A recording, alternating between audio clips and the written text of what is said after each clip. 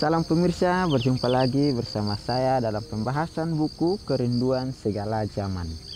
Ya, di mana di akhir zaman ini kita harus membenarkan diri kita supaya kita lebih dekat kepada kepada Tuhan. Sehingga di dunia ini kita dapat membantu orang yang bersusah, membantu orang yang kekurangan sehingga kita hari demi hari kita membagikan akan karakter Yesus di dalam kehidupan kita maupun di lingkungan kita yang kita tinggal sekarang. Ya, bagaimana Tuhan juga di zaman dulu dia rela mengorbankan semuanya untuk demi kita umat manusia. Biarlah di dunia ini kita dapat membagikan akan karakter Yesus, teladan Yesus yang dia sudah berikan ke dalam kehidupan kita agar orang-orang terdekat kita bisa melihat bahwa di dunia ini kita menampilkan akan karakter-karakter Kristus.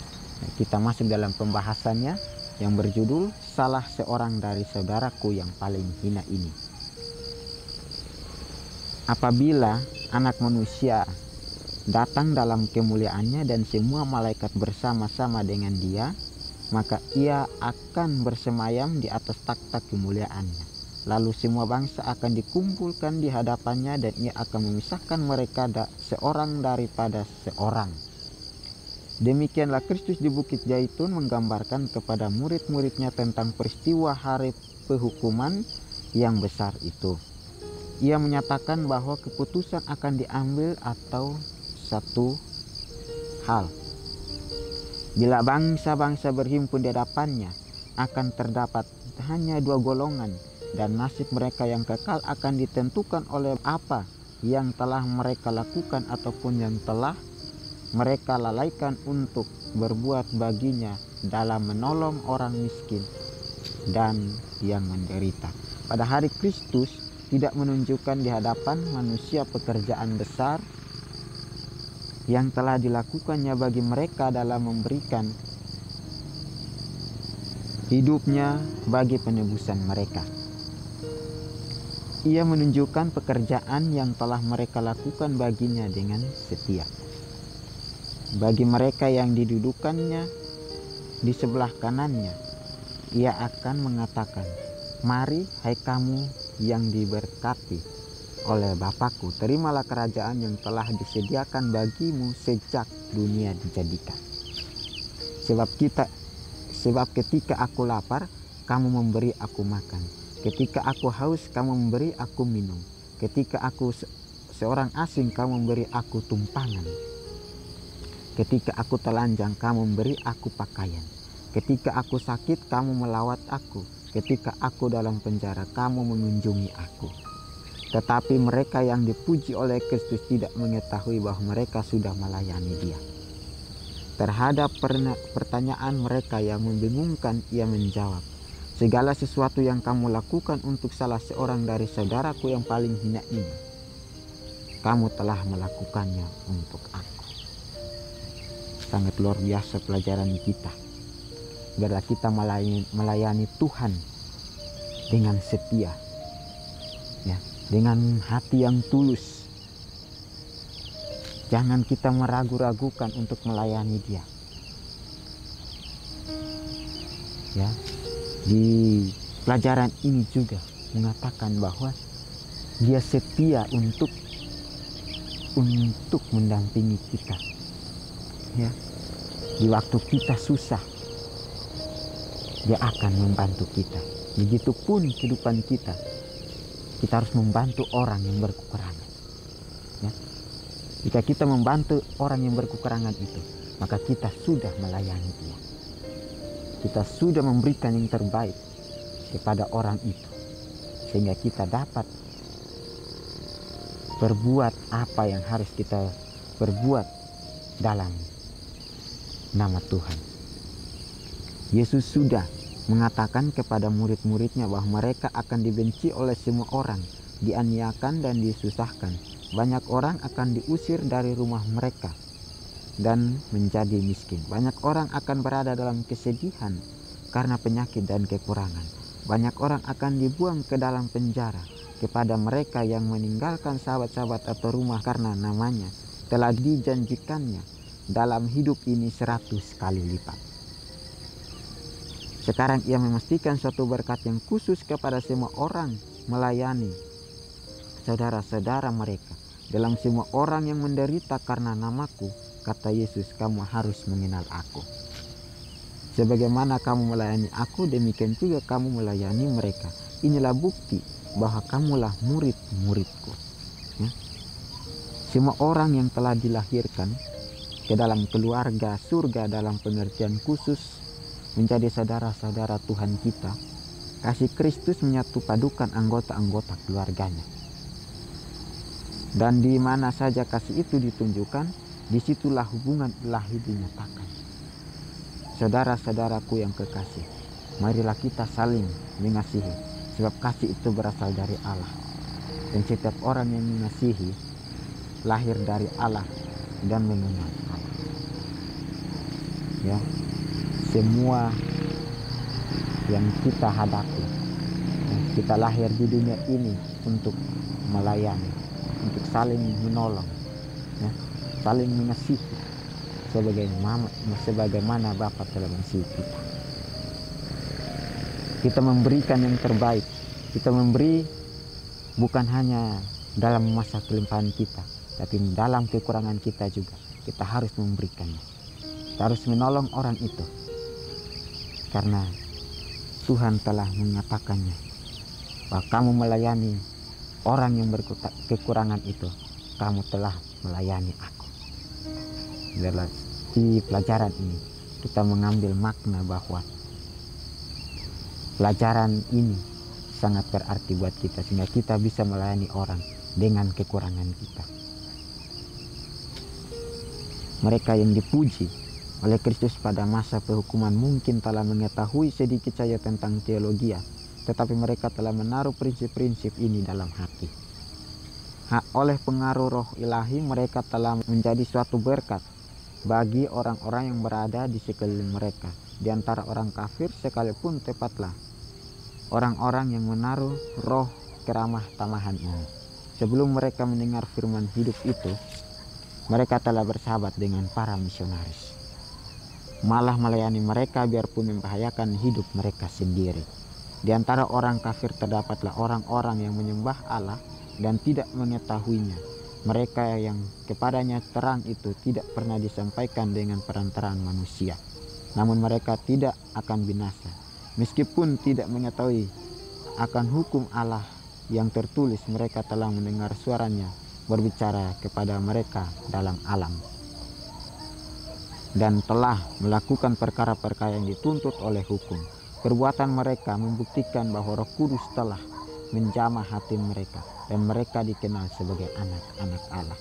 Alangkah heran dan senang orang-orang yang hina di antara bangsa-bangsa. Di antara orang kafir bila mereka mendengar dari bibir juru selamat segala sesuatu yang kamu lakukan untuk salah seorang dari saudaraku ini paling hina ini kamu telah melakukan untuk aku. Alangkah senangnya hati kasih yang tidak terbatas bila para pengikutnya memandang dengan keheranan dan kegembaraan pada perkataan persetujuannya. Tetapi kasih Kristus bukannya dibatasi pada suatu golongan saja. Ia menyamakan dirinya dengan setiap anak manusia. Supaya kita boleh menjadi anggota-anggota keluarga surga. Ia menjadi anggota keluarga dunia.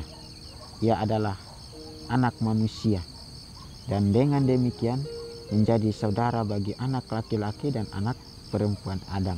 Para pengikutnya jangan hendaknya merasa diri terpisah dari dunia yang akan binasa di sekeliling mereka. Mereka menjadi sebagian dari umat dari segenap lapisan masyarakat dan surga memandang kepada mereka sebagai saudara-saudara bagi orang berdosa dan juga bagi orang saleh.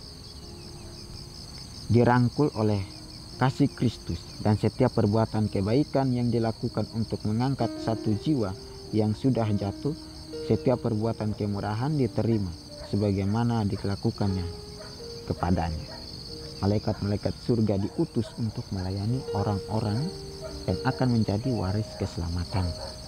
Kita tidak mengetahui sekarang siapa mereka itu, belum dinyatakan siapa yang akan menang dan mendapat bagian dari warisan orang saleh dalam terang. Tetapi malaikat-malaikat surga sedang mengitari panjang dan lebar bumi, berusaha menghibur yang susah, melindungi yang terkena bahaya, menyenangkan hati manusia kepada Kristus. Tidak seorang pun dilupakan atau dilewati. Allah tidak memandang rupa orang dan ia memberikan penjagaan yang sama kepada semua jiwa yang telah diciptakannya. Bila engkau membuka pintumu terhadap orang-orang yang berkekurangan dengan dan menderita, engkau sedang menyambut malaikat-malaikat yang tidak kelihatan. Engkau mengundang persahabatan dengan makhluk-makhluk surga mereka membawa suatu suasana kegembiraan dan damai yang suci. Mereka datang dengan puji-pujian dan bibir mereka. Dan suatu lagu sambutan terdengar di surga. Setiap perbuatan kemurahan menjelma menjadi musik di sana. Bapa dari taktanya menghitung para pekerja yang tidak mementingkan diri di antara hartanya yang paling berharga. Mereka yang di sebelah kiri Kristus. Mereka yang telah malaikan dia dan dalam hal menolong orang orang yang miskin dan menderita tidak menyadari kesalahan mereka. Setan telah membutakan mereka. Mereka tidak melihat apa utang mereka kepada saudara-saudara mereka. Mereka telah menaruh perhatian seluruhnya pada diri sendiri dan tidak menghiraukan keperluan orang lain.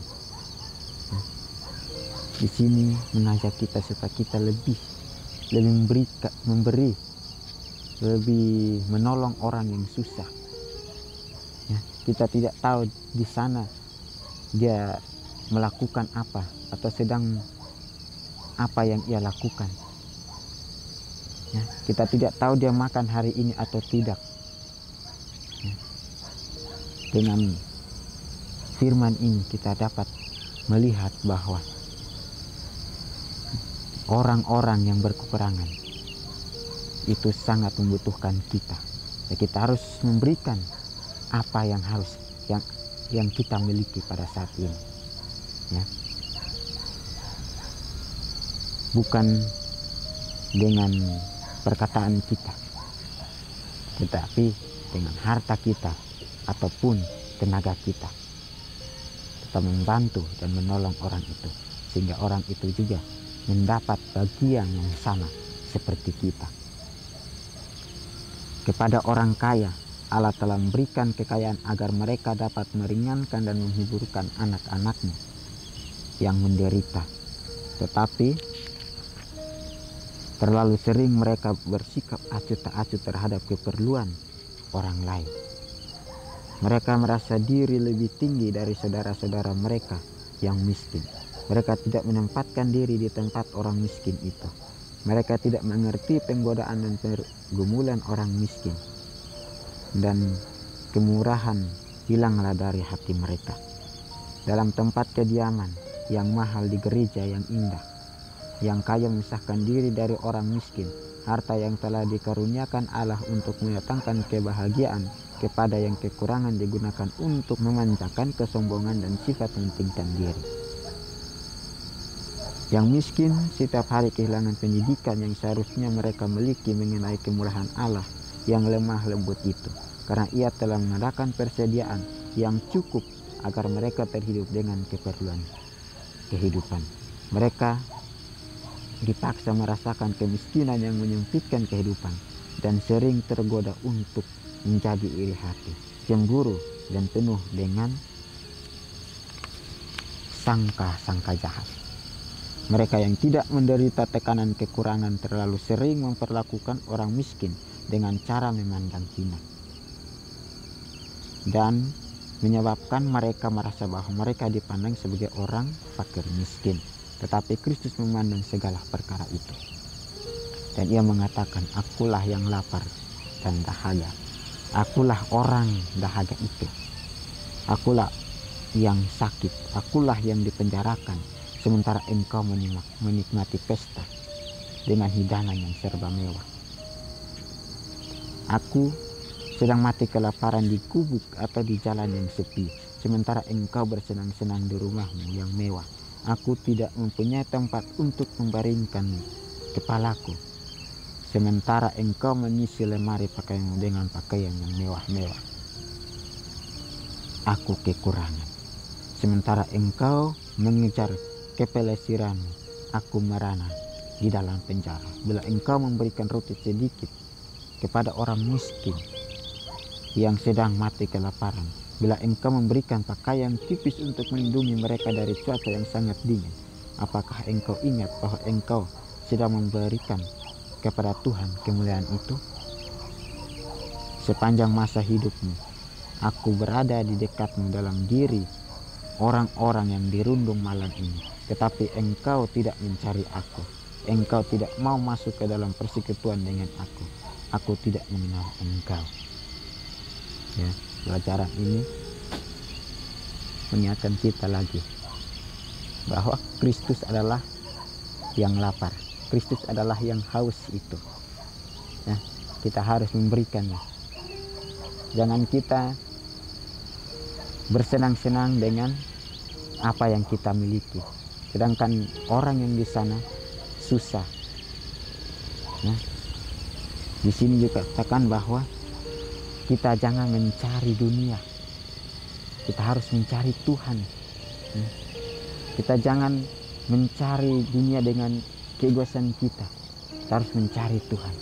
Bahwa Tuhan akan melimpahkan berkatnya kepada kita jika kita mau menolong, mau membantu dan memberikan apa yang kita punya.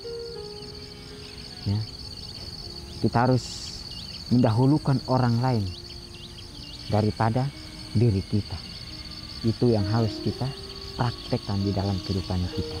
Jangan kita mendahulukan diri kita, mendahulukan orang tua kita, tetap kita harus mendahulukan orang yang lebih susah daripada kita.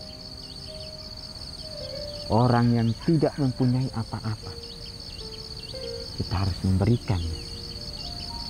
Sehingga mereka juga dapat menikmati apa yang kita nikmati pada saat itu juga. Ya. Banyak orang merasa bahwa adalah suatu kesempatan yang luar biasa bila mengunjungi tempat-tempat Kristus berada dalam selama ia hidup di bumi ini. Berjalan di tempat ia berjejak, memandang ke danau yang di tepinya ia suka mengajar, serta bukit-bukit yang dan lembah-lembah yang sering dipandangnya. Tetapi kita tidak perlu pergi ke Nazaret, ke Kapernaum, atau ke Betania agar dapat berjalan pada langkah-langkah Yesus kita akan menemukan jejak kakinya di sisi tempat tidur orang sakit, di pondok-pondok orang miskin, di lorong-lorong kota besar yang padat penghuninya, serta pada setiap tempat di mana terdapat hati manusia yang memerlukan penghiburan dalam berbuat seperti yang dilakukan Yesus ketika di dunia ini. Kita akan berjalan pada langkah-langkah. Semua orang boleh mendapat suatu sesuatu untuk dilakukan karena orang-orang miskin selalu ada padamu. Kata Yesus dan tidak seorang pun perlu merasa bahwa tidak ada tempat di mana mereka dapat bekerja baginya. Berjuta-juta jiwa manusia yang disediakan akan binasa yang terikat dengan rantai kebodohan dan dosa. Belum pernah mendengar banyak tentang kasih Kristus bagi mereka. Seandainya keadaan kita dan keadaan mereka dipertukarkan. Apakah yang kita inginkan mereka lakukan bagi kita? Segala perkara ini selama ada dalam kuasa kita wajiblah kita perbuat bagi mereka. Peraturan hidup Kristus yang olehnya masing-masing kita harus berdiri dan jatuh pada masa kehukuman. Ialah segala sesuatu yang kamu kehendaki supaya orang berbuat kepadamu berbuatlah demikian juga kepada kepada mereka Bila kita menyadari bahwa kitalah pekerja bersama-sama dengan Allah janjinya tidak akan diucapkan dengan sikap acuh tak acuh. Kepada Musa yang dipanggil untuk melayani umat yang tidak berpengetahuan, tidak berdisiplin, dan memberontak, Allah memberikan janji. Aku sendiri hendak membimbing engkau dan memberikan ketentraman padanya. Dan ia berkata, bukankah aku akan menyertai engkau? Janji itu adalah bagi semua orang yang bekerja ganti Kristus untuk anak-anaknya yang dirundung malang dan sedang menderita. Kasih bagi manusia merupakan pernyataan kasih Allah terhadap dunia ini. Hal ini harus menenangkan kasih ini dan menjadikan kita anak-anak satu keluarga agar kerajaan kemuliaan menjadi satu dengan dia. Dan bila kita kata-kata perpisahannya digenapi. Inilah perintah, yaitu supaya kamu saling mengasihi seperti aku telah mengasihi mengasihi kamu. Bila kita mengasihi dunia sebagaimana ia telah mengasihinya, maka bagi kita tugasnya dilaksanakan. Kita cocok untuk surga karena kita mempunyai surga dalam hati kita. Ya, kepada setiap jiwa tanggung jawab diberikan dari setiap orang gembala agung akan menuntut di manakah kawanan ternak yang diberikan kepadamu kambing domba yang menjadi kemuliaanmu dan apakah yang kau katakan apabila diangkat menjadi kepalamu. Kalau kita menanamkan kasih Tuhan di dalam kehidupan kita kita menanamkan akan nasihat yang Tuhan berikan di dalam kehidupan kita sehingga kita bisa mempraktekkan di dalam kehidupan kita. Ya. kalau kita bisa membagikan dalam dalam keluarga kita. Karena di pelajaran ini kita harus memandang kepada Tuhan jangan kita bermegah dengan apa yang kita punya sedangkan Tuhan di sana tidak ada tempat untuk meletakkan kepalanya kita harus mengerti harus paham bahwa Tuhan itu dia tidak ada tempat. Ya, sedangkan kita banyak sekali harta, tapi kita malah mementingkan akan diri kita sendiri. Kita tidak mau berbagi, kita tidak mau. Kita tidak mau berbagi kepada orang lain. Ya. Karena nasihat firman ini menjadi menjadi satu pelajaran yang kita ambil. Supaya kita hidup di, dunia ini kita dapat melayani sesama manusia kita bahkan saudara kita yang paling hina ialah Yesus Kristus. Oke pemirsa, inilah nasihat firman Tuhan. Biarlah kita dapat bertemu di pembahasan berikutnya. Tuhan memberkati.